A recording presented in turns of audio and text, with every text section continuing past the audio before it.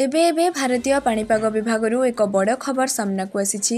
तेबे वर्तमान जहाँ सूचना मिल्छ गोटे लघुचाप न पुणी थरे आउ नजाणु लघुचाप थघुचाप चिंता रो कारण पालटि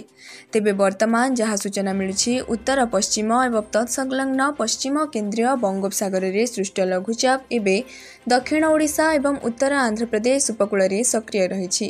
तेबे सूचना जदी एही लघुचाप लघुचापट्टि घनीभूत हे गभीर अवपत रूप निए ताहेले ଏହା ଭୟଙ୍କର ବାତ୍ୟାରେ ପରିଣତ ହେବାର ସମ୍ଭାବନା ରହିଛି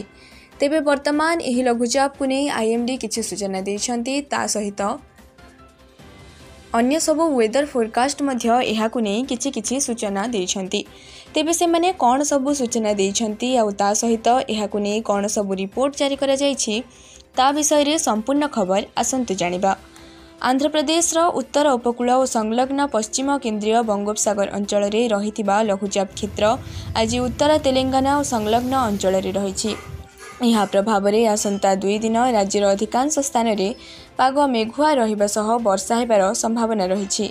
ଆସନ୍ତାକାଲି ରାଜ୍ୟର ଚାରୋଟି ଜିଲ୍ଲାରେ ପ୍ରବଳ ବର୍ଷା ସମେତ ଷୋହଳଟି ଜିଲ୍ଲାରେ ବିଜୁଳି ଘଡ଼ଘଡ଼ି ସହ ବର୍ଷା ସମ୍ଭାବନା ଥିବାରୁ ୟେଲୋ ୱାର୍ଣ୍ଣିଂ ଜାରି ହୋଇଛି ଆଞ୍ଚଳିକ ପାଣିପାଗ ବିଜ୍ଞାନ କେନ୍ଦ୍ର କହିଛି ଯେ ଆସନ୍ତାକାଲି ସୁନ୍ଦରଗଡ଼ କେନ୍ଦୁଝର ମୟୂରଭଞ୍ଜ ଓ ବାଲେଶ୍ୱର ଆଦି ଜିଲ୍ଲାର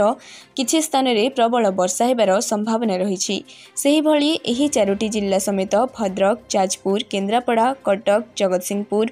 ଝାରସୁଗୁଡ଼ା ସମ୍ବଲପୁର ଦେବଗଡ଼ ଅନୁଗୁଳ ଢେଙ୍କାନାଳ ଖୋର୍ଦ୍ଧା ଓ ପୁରୀ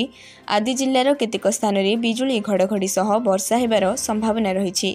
ଉଣେଇଶ ତାରିଖ ଦିନ ମଧ୍ୟ ରାଜ୍ୟରେ ବର୍ଷାର ପ୍ରକୋପ ଜାରି ରହିବ उन्ेस तारिख दिन राज्य उन्नाइसटी जिल्ला विजुली घडीसह वर्षा सम्भावना रह जुडिक